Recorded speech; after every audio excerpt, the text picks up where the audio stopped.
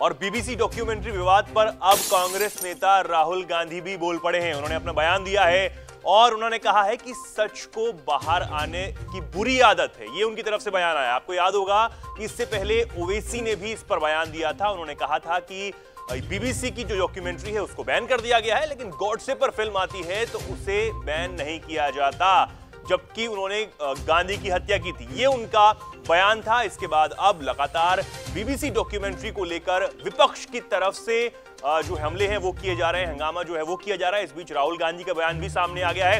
इस पर ज़्यादा जानकारी के लिए सीधा चलते हैं हमारे सहयोगी शेखर जी के पास।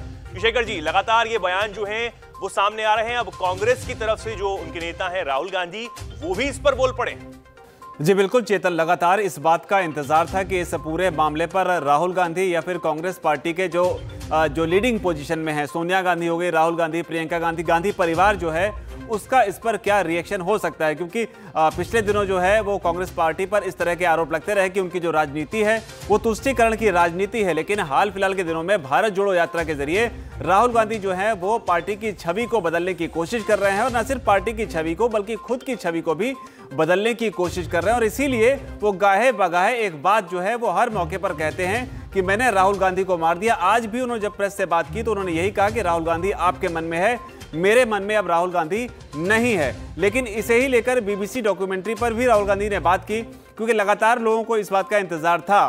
तो बीबीसी की डॉक्यूमेंट्री पर बोलते हुए राहुल गांधी ने साफ़ तौर पर यही कहा है कि सच को एक बुरी आदत होती है कि वो कभी छिपता नहीं है। यानी कि राहुल गांधी ने कहीं ना कहीं जो है बीबीसी की डॉक्यूमेंट्री के मामले में बीबीसी के साथ खड़े होने का संकेत यहाँ पर दिया है। उन्होंने कहा है कि अगर आपने शास्त्रों को पढ़ा होगा तो आपको पता चलेगा कि आप चाहे ईडी लगा लीजिए, सीबीआई लगा लीजिए कुछ भी लगा लीजिए, आप सच को दबा नहीं सकते हैं। तो ये बयान जो है वो राहुल गांधी की तरफ़ से आया है।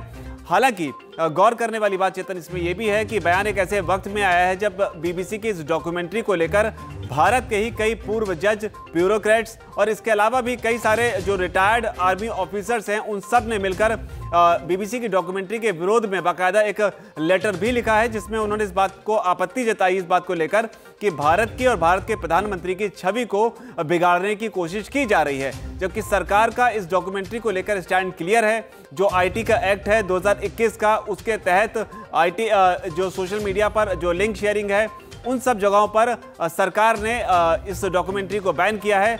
लेकिन बड़ी चीज़ यहाँ पर यह भी ध्यान रखनी है, चेतन, कि इसका दूसरा जो एपिसोड है, वो रात नौ बजे रिलीज़ होने वाला है।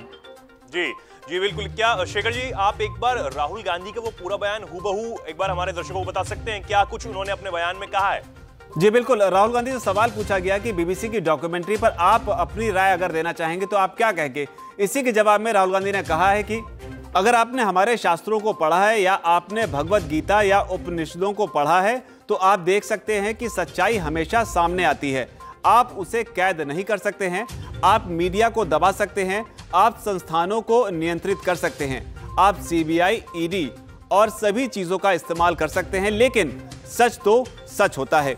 सच्चाई चमकीली होती है, इसे सामने आने की बुरी आदत होती है। इसलिए किसी भी तरह की पाबंदी, दमन और डराने वाले लोग सच्चाई को सामने आने से नहीं रोक सकते हैं। तो ये राहुल गांधी का पूरा बयान था। पूरे बयान से कम से कम अंदाज़ा हो जाता है कि एग्जैक्टली किस भाव से अपनी बात को उन्होंने रखा है, चेतन। जी बहुत धन्यवाद शेखर जी हमारे दर्शकों को जानकारी पहुँचाने के लिए। तो ये पूरा बयान अब राहुल गांधी की तरफ़ से भी निकलकर सामने आ गया है। बीबीसी डॉक्यूमेंट्री विवाद पर भी अब कांग्रेस नेता राहुल गांधी ने अपना बयान दिया है और लगातार अब ये चर्चा में है। लगातार जो बीबीसी डॉक्यूमेंट्री है आ, उस पर ये जो पूरा घमासान है वो मचा हुआ है। बीबीसी पर आरोप है कि उसने अपने इस डॉक्यूमेंट्री के ज़रिए भारत के प्रधानमंत्री नरेंद्र मोदी की छवि को खराब करने और भारत की छवि को खराब करने के लिए पूरा प्रोपेगेंडा जो है, वो रचा है, वो साजिश तैयार की है। ये लगातार आरोप उसके ऊपर लग रहे हैं और इस पर भारत सरकार की तरफ़ से प्रतिक्रिया आ चुकी है। अमेरिका भी इस पर बोल चुका है और अब भारत जोड़ो यात्रा जो राहुल गांधी कर रहे हैं, उनसे जब पत्रकार ने सवाल पूछा तो उन्होंने ये बयान दिया। वीके न्यूज़ राष्ट्र के नाम।